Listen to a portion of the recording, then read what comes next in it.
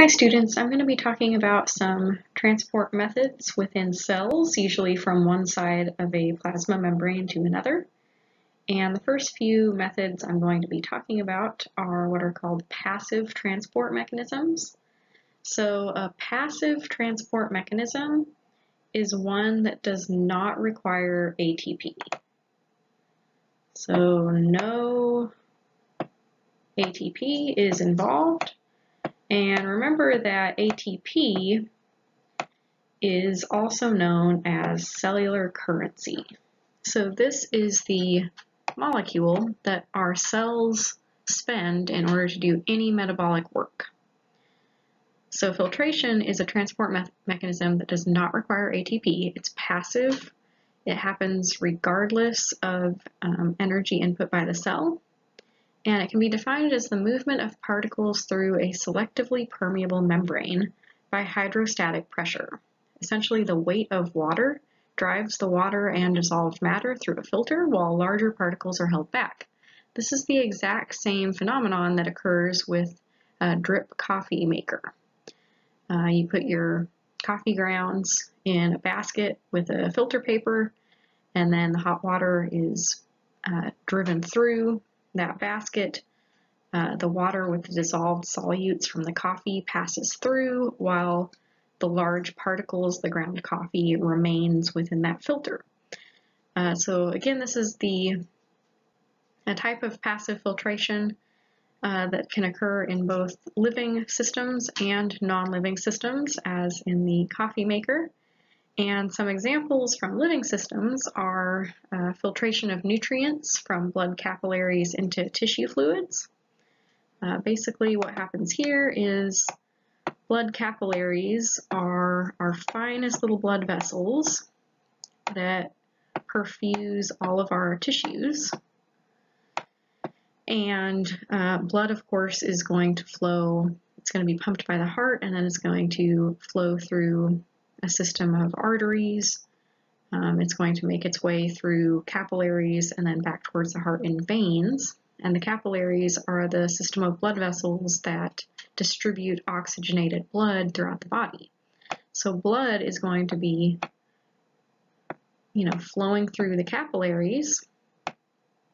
And there are actually little gaps that allow for perfusion of oxygenated blood throughout our tissues. Uh, so there are gaps within the capillaries, uh, very fine little gaps between the cells, the epithelial cells within our capillaries that allow for this to occur. Uh, so this is a passive process that's basically just driven by the weight of the fluid, blood, which is mostly water. Um, another example would be filtration of wastes from the blood in the kidneys. So again, filtration, passive process. Um, it is not going to require ATP. Uh, simple diffusion is defined as the net movement of particles from an area of high concentration to an area of lower concentration. And again, this is a passive process, so no ATP is required.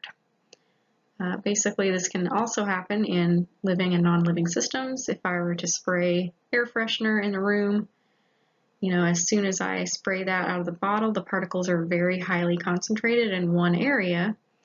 Uh, but with the random motion of the particles that were released, they are going to take the, basically take up any space available to them. So they're going to diffuse throughout the room from an area of high concentration to low concentration until an equilibrium is reached. That's really what all of these passive processes rely on is some sort of concentration gradient. Uh, so simple diffusion is also known as movement down the concentration gradient. With diffusion rates, there are a number of factors that affect how quickly particles can move through a membrane. Temperature, the higher the temperature, the greater the motion of particles will be, which is a measure of kinetic energy, so diffusion will happen faster. A molecular weight, larger molecules tend to move slower, so small molecules can diffuse quicker. steepness of the concentration gradient. Uh, the greater the difference is between one area and another, the, the greater the rate will be. Membrane surface area, hopefully this is fairly intuitive. Uh, the greater the surface area, the greater the diffusion rate will be because there is basically more area across which the particles can diffuse. Membrane permeability, again, hopefully this is intuitive. The more permeable a membrane is, the greater the rate will be. Permeability is just a measure of um, the selective nature of membranes. If a membrane is permeable to something, then it is going to allow that substance through. And cells are actually able to adjust permeability by adding channel proteins or taking them away. So we can have some upregulation of genes that code for these the production of channel proteins, for example. So just keep in mind factors that can affect diffusion rates. Again, I think most of these are fairly intuitive.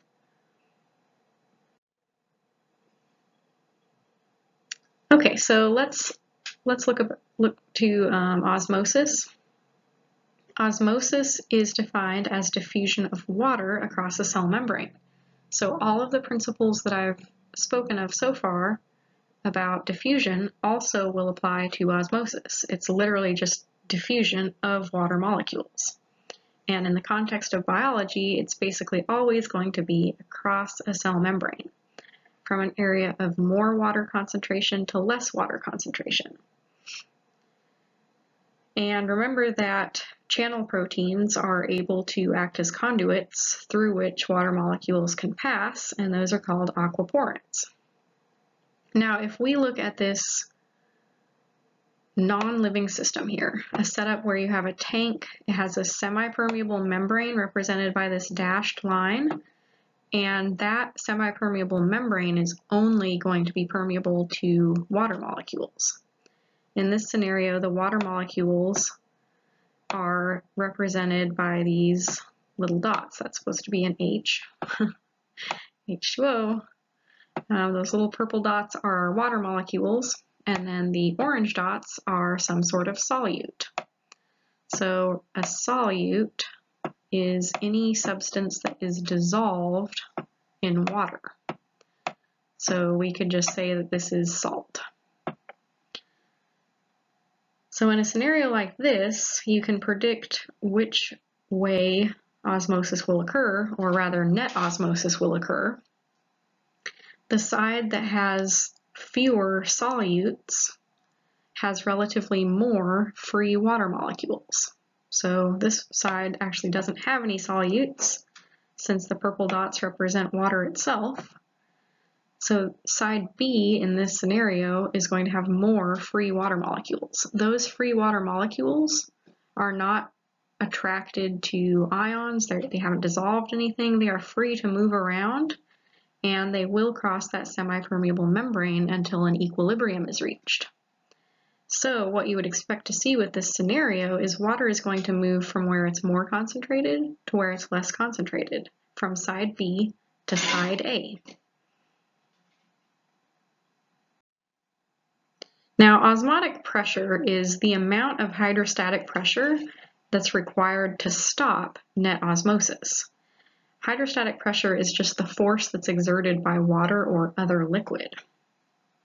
So at some point in a scenario, a setup like this, net water movement or osmosis is actually going to slow due to filtration of water back across the membrane.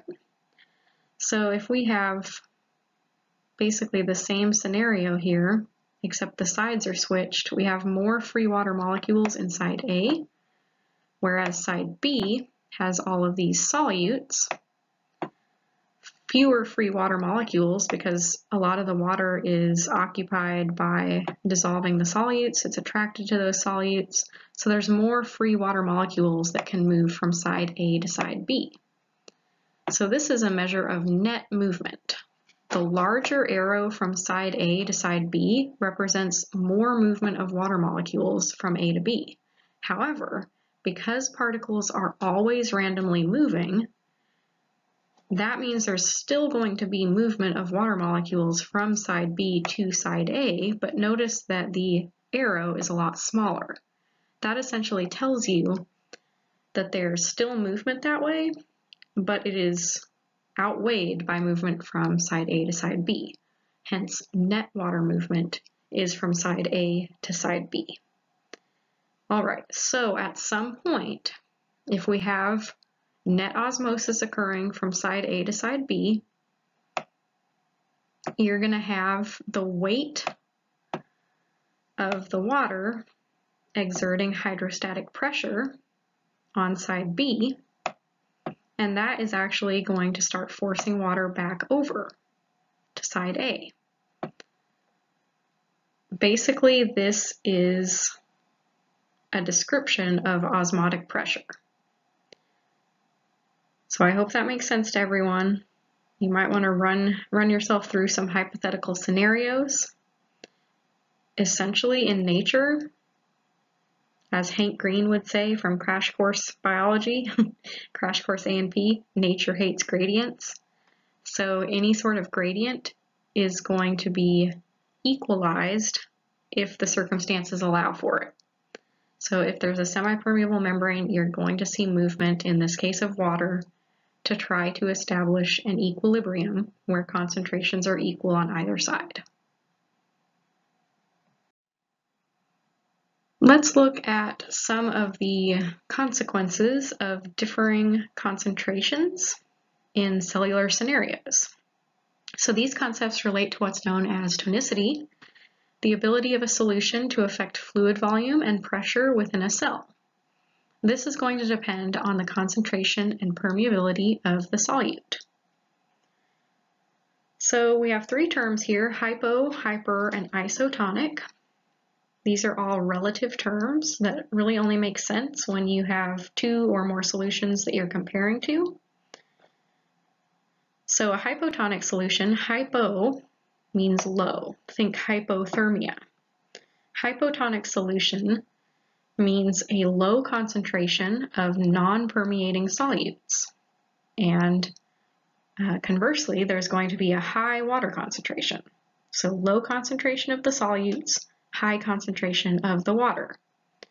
In this case, a cell placed in this solution would be expected to absorb water, swell, and it may burst or lyse. Contrast that to a hypertonic solution. Hyper means more, think hyperactive. Hypertonic solution has a high concentration of non-permeating solutes, so dissolved particles that cannot pass through a membrane. And conversely, they'll have a low water concentration. So in this case, a cell placed in a hypertonic solution would lose water water, there would be a net movement of water outside of the cell into the hypertonic solution. The cell would lose water and shrivel or crenate.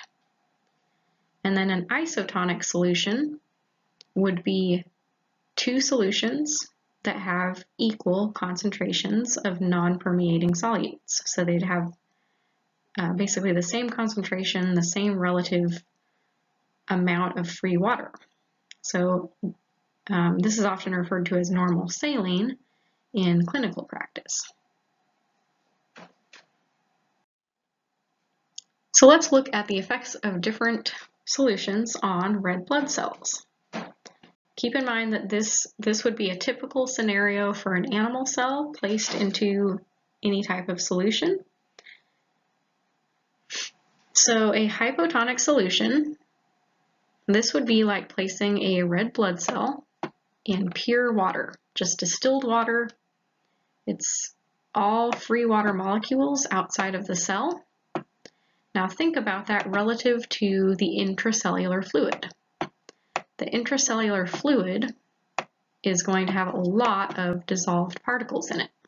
So all of the chemistry within the cell is going to be reflected within that intracellular fluid. That's going to have a lot more non-permeating solutes. So, you know, we could represent this by drawing little dots, lots of dots. There basically wouldn't be non-permeating solutes out here. I'm just going to put two. So net movement of water is always going to be from where there's more water to less water.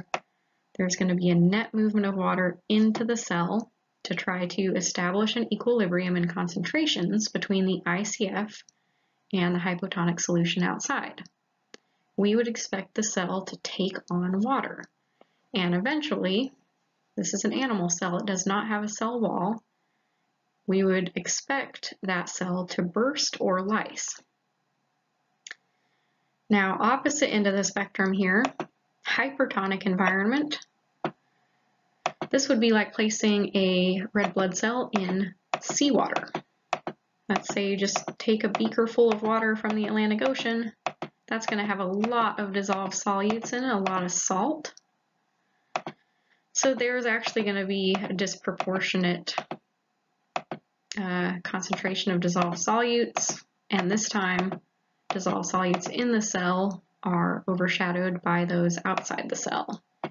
In the extracellular fluid in this case, doesn't necessarily have to be extracellular fluid, it would just be a hypothetical non-biological solution like salt water.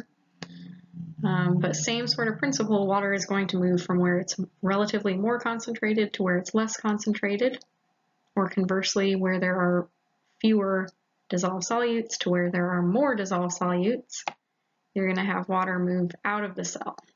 So what you're seeing here is the effects of water loss. These kind of peaks and valleys of the cell. Basically, this represents the cell membrane and shrinkage of the cell contents away from that cell membrane because it's losing water. So that would result in crenation. Now an isotonic situation, this would be like our normal blood plasma and red blood cells.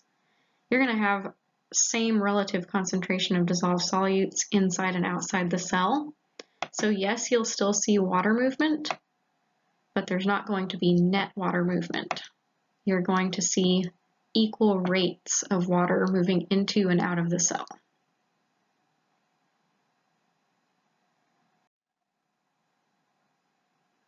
All right, so what would be the most likely scenario if red blood cells are placed in water from the Atlantic Ocean? Basically just went through this scenario, but if you need to, go ahead and pause and think about this. And then another question for fluid replacement in a clinical setting, what would you expect the replacement fluid to be relative to a patient's blood?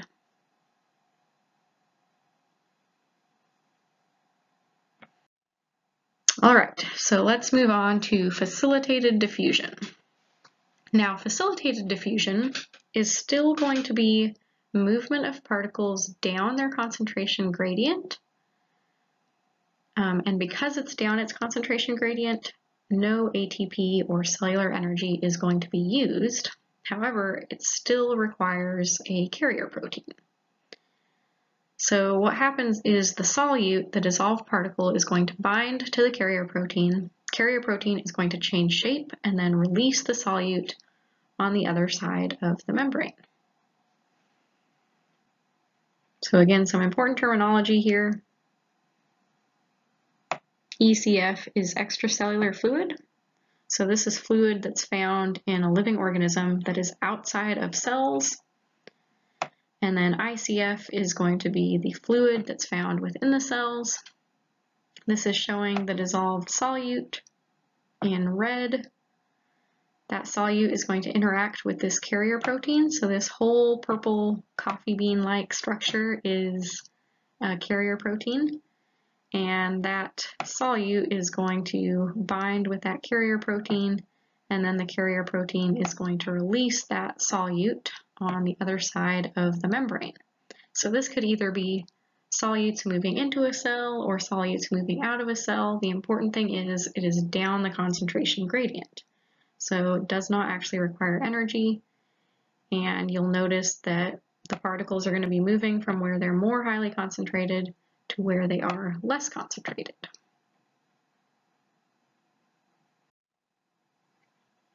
Okay, so let's switch over to talking about active transport. Active transport is transport of solute across a membrane And instead of down the concentration gradient, it's going to be up the concentration gradient or against the concentration gradient. So we're using energy to move a solute from where it's less concentrated to where it's already more concentrated. And that is kind of against what nature naturally seeks, which is a balance or an equilibrium. Um, ATP energy is required in order to change a carrier protein to allow for this to happen. And some examples are the sodium-potassium pump. Um, whenever cells bring amino acids in, um, when calcium ions are pumped out of the cell, and during endocytosis and exocytosis, which are both forms of bulk transport. So the sodium-potassium pump is a mechanism that's found in our cells, and it is a carrier protein that utilizes ATP, so it is requiring cellular energy. And this pump is basically needed because the cell membrane is slightly permeable to both sodium and potassium ions. Sodium and potassium are constantly going to leak through the membrane. And I'll explain why we need the sodium-potassium pump momentarily. Uh, basically, half of the daily calories that we consume are utilized just for this sodium-potassium pump. So it is critically critically important. Um, one ATP molecule is utilized to push out three sodium ions and bring in two potassium ions. So notice that both sodium and potassium are positively charged.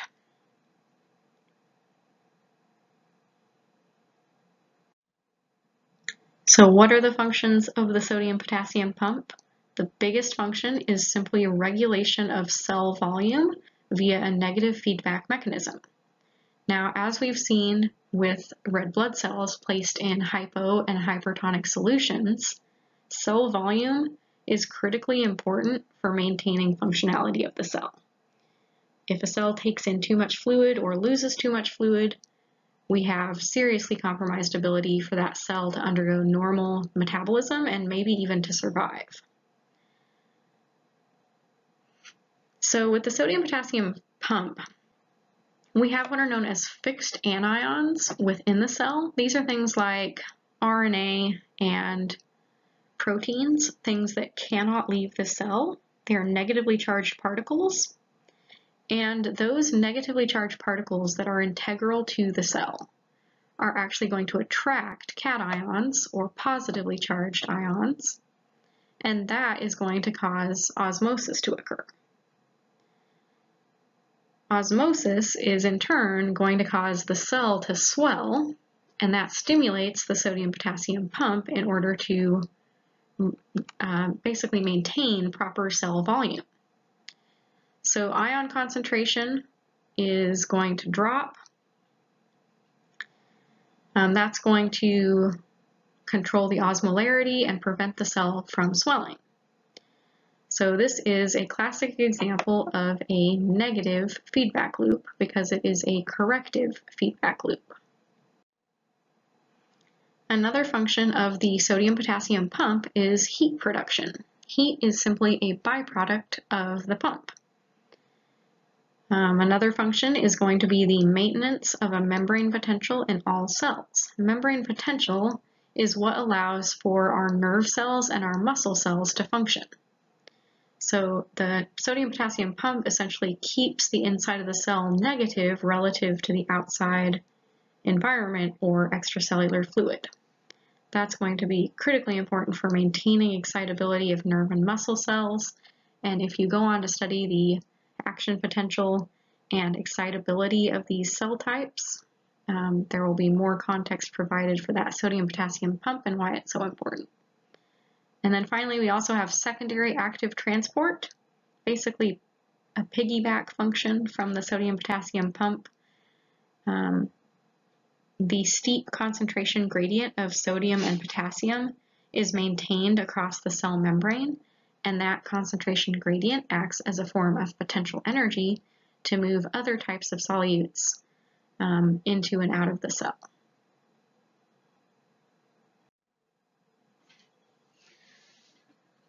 Another type of active transport is called vesicular transport. A vesicle is essentially just a little bubble of membrane. So the outer boundary is going to be really similar to our cell membranes. A vesicle is basically just a little carrier that can transport large quantities of fluids and or dissolved particles into and out of a cell.